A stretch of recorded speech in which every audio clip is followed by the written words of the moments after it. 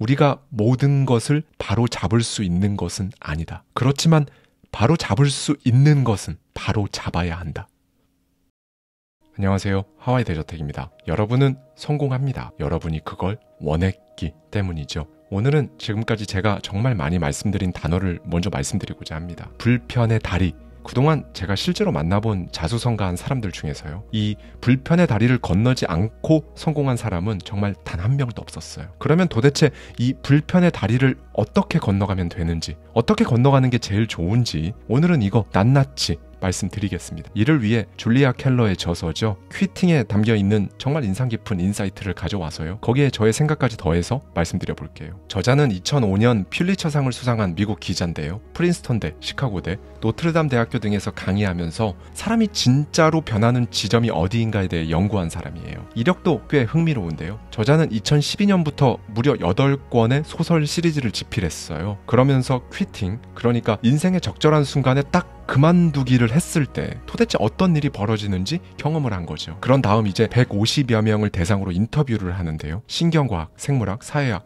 심리학자 등 정말 여러 분야의 전문가들과 함께 이 그만두기를 함으로써 인생 역전한 사람들이 인터뷰 대상이었습니다. 그렇게 이 책이 완성됐죠. 저자는 이렇게 말하는데요. 생존의 가장 좋은 방법은 생존에 도움이 되지 않는 모든 것을 포기하는 것이다. 그러니까 비효율적인 일에 낭비되는 내 자원을 최대한 줄이는 거예요. 안 하던 새로운 행동을 하기 위해서는 기존에 하던 어떤 행동을 과감하게 중단하는 것. 이게 바로 저자가 말하는 퀴팅이고 제가 말하는 불편의 다리를 건너기 전에 무조건 해야 하는 과정이에요. 저자가 대학원생이던 시절이었는데요. 진짜 매일 쪼그리 앉아 논문 쓰면서 이런 생각을 했다고 해요. 내가 이렇게까지 끈기 있게 물고 늘어지는데 내 인생은 왜 바뀌지도 않고 심지어 맨날 그냥 제자리인가 이렇게 의문을 가진 거죠. 그러다가 진짜 문득 지금이 바로 다음 챕터로 넘어갈 때다. 이걸 뭔가 본능적으로 딱 직감한 겁니다. 그리고 다음 챕터로 넘어가기 전에 일단 해야 할 일이 바로 기존에 하던 걸 그만두는 것이라는 사실도 눈치챘고요. 저자는 바로 그렇게 이 quitting을 이해하고 나서야 자기 인생을 변화시킬 수 있었다고 강조합니다. 네, 여러분. 저스틴 슈미트라는 굉장히 유명한 곤충학자가 있는데요. 그는 곤충에 관해 글을 쓰면서 모든 생명체에게는 오직 두 가지 목표만 있다고 설명해요. 먹히는 것과 먹히지 않는 것. 여기서 잠시 곤충학자 슈미트가 제시한 꿀벌의 생애를 좀 살펴 볼 필요가 있습니다. 모든 꿀벌에게는 의무가 있다고 하는데요. 그건 바로 자신들의 생존을 위해서는 개체수를 반드시 늘려야 한다는 엄청난 사명이 있습니다. 그래서 꿀벌은 집단을 지키기 위해서라면 자신의 생명도 버립니다. 포식자일 가능성이 있는 상대에게 달려들어 침을 쏘는데요. 침을 쏘면 내장이 빠져나가 곧바로 죽게 됩니다. 사망률 100%. 자기 인생을 한순간에 걸어버리는 거죠. 그런데 여기서 이제 재밌는 게 있습니다. 이렇게 생과 사가 걸려있는 이 문제에서요. 꿀벌은 침을 쏴봤자 별다른 효과도 없다. 그러니까 자신들이 생존하는데 침 쏘는 게 별 의미가 없다고 판단되면요. 가차없이 싸우기를 그만둡니다. 더 이상 자신들의 보금자리를 지키기 위해 목숨 걸고 돌진하는 건 하지 않기로 결정하는 거죠. 이 현상에 대해 2020년 슈미트는 자신의 연구 결과를 발표해요. 그러니까 이 꿀벌은요. 객관적으로 봤을 때 이 포식자가 진짜 위협적일 정도로 가까이 다가와 있는지 그리고 더 나가서 집단의 번식력이 그 시점에 충분한지 여부를 그 순간에 소위 저울질한다고 합니다. 즉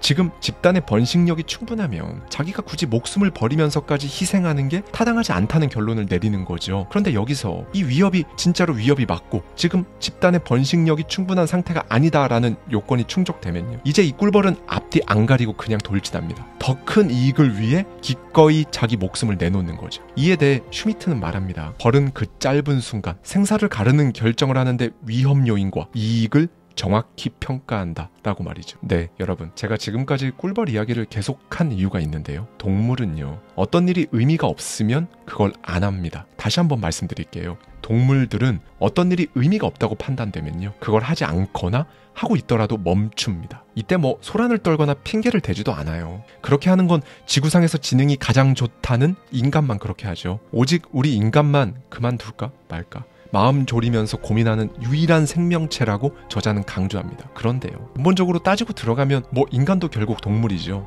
네. 자연 생태계는요, 무의미한 일에 중요한 에너지를 낭비하지 않아요. 그래서 저자는 생존이 위태로울 때, 혹은 여러분이 가고자 하는 길에 방해가 되는 일은 바로 그만두라고 합니다. 그리고 곧장 다른 무언가를 해 나가야 한다고 조언하는데요. 고민이 된다면요. 그럴 때마다 자연을 생각해 보면 도움이 되실 겁니다. 자연은 반드시 필요한 일들만 벌어지는 곳이니까요. 불필요한 행동도 없고 적합한 행동만 존재하죠. 그런데요, 우리는 생존보다 더 상위의 개념, 그러니까 가치, 목적, 목표, 맥락과 같은 것들을 소위 추구하며 살아가는 존재잖아요. 그래서 방금 말씀드린 것처럼 자연을 막 완벽히 빼닮을 수는 없겠죠. 그럼에도 불구하고 이거 하나는 정말 자연으로부터 명확히 벤치마킹 할 수 있고 해야 합니다. 그게 뭐냐면요. 사람이 다른 길로 가려면 원래 가던 의미 없는 그 길, 그 길 가는 걸 멈추는 행동을 반드시 수반해야 한다는 사실이에요. 이걸 아는 것 자체만으로도요. 지금까지 여러분이 했던 고민들, 한숨들, 속 썩였던 문제 들 아마 대부분 해결될 겁니다. 이 부분에서 저자는 이렇게 말해주는데요. 뇌에 한 번도 해본 적 없는 새로운 일을 하라고 다시 말해 기존에 하던 것을 그만두고 새로운 방향으로 가라고 더 자주 요구할수록 다행히도 뇌는 그 일을 더 잘하게 된다. 뇌는 활동할수록 행복하다. 의미 없는 걸 바로 그만두는 건 뇌에게 에어로빅 같이 좋은 운동인 것이다. 네, 여러분. 사실 몇 초만 생각하면 되는 사소한 행동부터요. 몇 개월 혹은 몇 년씩 막 생각해야 하는 인생 바꿀 만큼 중대한 행동들까지 사실 다 마찬가지입니다. 더 높이 뛰어 오르려면 일단 무릎을 굽히고 반드시 그 시점에는 여러분 키가 더 작아지는 걸 감수해야 한다는 사실을 잊지 않으셨으면 좋겠어요. 그러면 우리가 무릎 굽히고 작아지는 이 행동 살면서 언제 하면 진짜 좋을까 요? 저자는 대표적으로 인생의 두 가지 영역에서 이걸 해야 한다고 강조합니다. 첫째는요, 여러분을 앞으로 나가지 못하게 막는 소속감이에요. 저는 여기서 무가치한 소속감이라고 표현을 할 건데요. 가치 없는 이 소속감 때문에 낭비하는 시간은 진짜 여러 가지 형태로 존재하거든요. 헤어져야 하는데 헤어지지 못하는 각종 인연. 답이 아닌 걸 알면서도 계속 붙어 있는 그 직장. 다녀왔다 하면 기빨리고 대화도 안 맞아도 어쨌든 외로우니까 이어나가는 각종 모임과 친구 관계. 분명 내 자존심을 갉아먹지만 좀처럼 빠져나오지 못하는 그 SNS. 분명 나는 더 발전해야 하는데 내 발목 잡고 나를 앞으로 나가지 못하게 만드는 편안한 감정을 만들어내는 모든 공동체. 네. 정리하자면 이게 아닌 걸 아는데 여러 가지 사정들 혹은 여러분의 도파민에 이끌려서 계속 무의미한 시간을 쓰게 만드는 2인 이상의 사람으로 구성된 공동체를 의미합니다. 그럼 이 공동체라는 게 뭘까요? 공동체가 존재하기 때문에 우리 삶에는 맥락이라는 게 생기죠. 공동체가 있기 때문에 사람은 단순히 우주를 떠도는 먼지가 아니라 그 이상의 존재라고 스스로 인식하게 되고요. 네. 공동체는 서로를 묶어주는 접착제이자 연결고리, 끈 역할을 하기도 합니다. 저자는 말해요. 단일 개체로서 우리는 너무 가볍고 하찮아서 지표면에서 당장 날아가 버릴 것 같다. 그래서 이런 공동체와 함께하길 그만두겠다고 결심하는 것은 안정감을 느끼는데 꼭 필요한 무언가를 뺏기는 것 같이 받아들인다. 사람들은 이것을 극도로 무서워하기 때문이다. 그런데 그로 인해 주어지는 자유에 대해서는 과소평가한다. 네. 결국엔 이놈의 안정감이 문제인 겁니다. 그렇죠. 저는 개인적으로 결국 인생을 바꾸지 못하는 대부분의 사람들 발목 잡고 있는 건 이 안정감에 대한 미련 때문이라고 봅니다. 여러분을 나아가지 못하게 만드는 안정감은요. 극강의 편안함을 줄 거예요. 그런데 불편의 다리를 건너는 여러분 발목을 잡아채는 정말 유일한 한 가지는 열의 아홉은 이 안정감일 겁니다. 여러분, 사람은 원래 혼자 이룰 수 있는 무언가를 해내려고 마음 먹을 때보다요. 더 큰 집단 안에 자리 잡으면 편안하고 기분이 좋게끔 세팅이 되어 있어요. 그래서 사람은 자기한테 도움되지 않는 일, 심지어 해를 입히는 일을 못 그만두고 망설이는 겁니다. USA 투데이에서 컬럼니스트로 활동하며 퓰리처상까지 수상한 코니 슐츠는요. 정말 수많은 사람을 만나며 삶에 대해 인터뷰했는데요. 그 결과 이런 결론을 내립니다. 새로운 사람을 만나고 새로운 경험을 하려면 이걸 위한 공간을 만들어야 한다. 그런데 당신을 방어적으로 만들거나 열등감을 느끼게 만드는 사람이 그 공간을 차지하고 있다면 변화의 여지는 없다. 제대로 굴러가지 않는 삶의 영역에서 벗어나야 비로소 새로운 무언가를 찾아낼 공간이 생긴다. 우리는 벗어난 뒤에야 다른 걸 얻을 수 있기 때문이다. 여러분, 이건 제가 제 인생 걸고 직접 해봐서 말씀드릴 수 있는 부분인데요. 이 소속감 이거요. 여러분이 가고자 하는 길하고 현재 여러분이 속한 집단의 성격이 다르다면요. 여러분이 현재 여러분을 그 자리에 남겨두고 떠나야 하는 용기가 필요합니다. 그렇게 새로운 나로 기꺼이 뛰어들지 않으면요. 불편의 다리를 건너 다른 차원의 인생으로 가는 일은 일어나지 않아요. 시동을 안 걸었는데 어디를 갈 수 있을까요? 이 무가치한 소속감과 더불어서요. 우리가 기꺼이 물러서야 하는 인생 영역이 한 가지 더 있습니다. 저자는 이걸 영혼을 갉아먹는 작은 문제들이라고 표현하는데요. 이게 도대체 뭘까요? 이를테면 여러분이 원하는 목표, 혹은 마음에서 가라고 하는 길은 따로 있는데 매달 받는 월급에 익숙해져서 다른 행동을 못하고 있다면요. 바로 이 월급이 영혼을 갉아먹는 작은 문제들에 속한다고 저자는 강조합니다.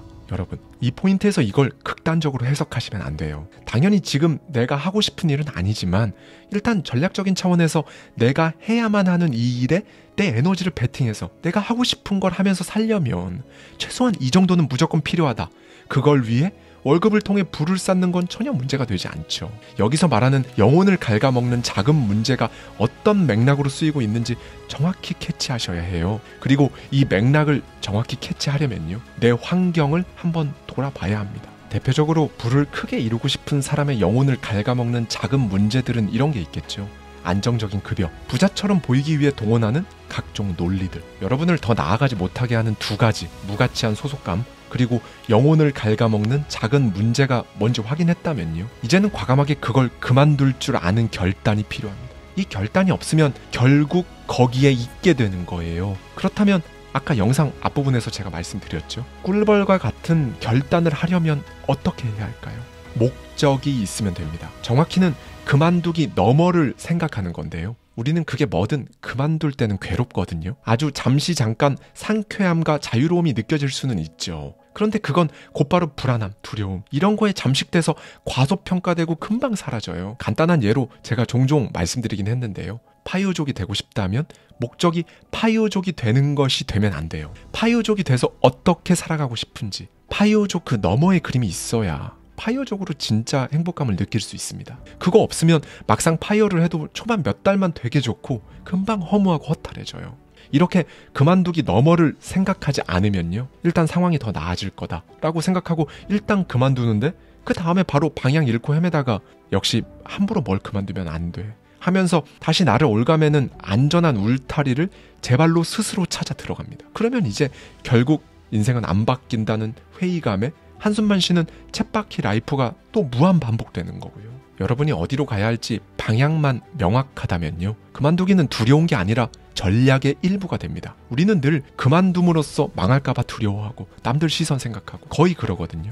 그런데 사실 이건 다 내 안의 방향이 확실하지 않아서 일어나는 부작용이에요. 내 갈 길 확실히 아는 사람한테는요. 무가치한데 영혼만 갉아먹고 있는 그걸 그만두는 건 오히려 인생의 터닝포인트로 작용해요. 그러니 여러분, 다른 챕터로 나아가야 할 때를 여러분이 눈치챘거나 사실은 이미 알고 있었거나 준비하고 있는 상황에서 강한 직감이 왔다거나 그러면요. 이제는 낡은 것들 과감히 놓아버리셔야 해요. 그만두기를 효율적으로 사용해서 A에서 B로 넘어가십시오. 그게 바로 불편의 다리를 건너는 과정이니까요. 그리고 이걸 꼭 기억해 주셨으면 좋겠어요. 우리는 꿀벌보다 상황이 훨씬 낫습니다. 우리의 그만두기는 사망률 100%의 확률을 놓고 저울질하는 게 아니잖아요. 무의미한 걸 그만두는 것, 그걸 그 너머를 위한 발판으로 생각할 수 있거든요.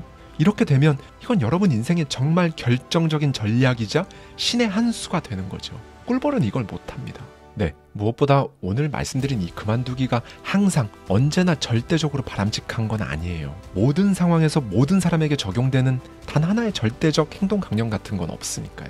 다만 저울질 하십시오. 이건 내가 가는 길에 방해다라는 판단이 서면요. 그땐 반드시 그만두는 겁니다. 저자 줄리아 켈러의 마지막 말로 오늘 영상 마치겠습니다.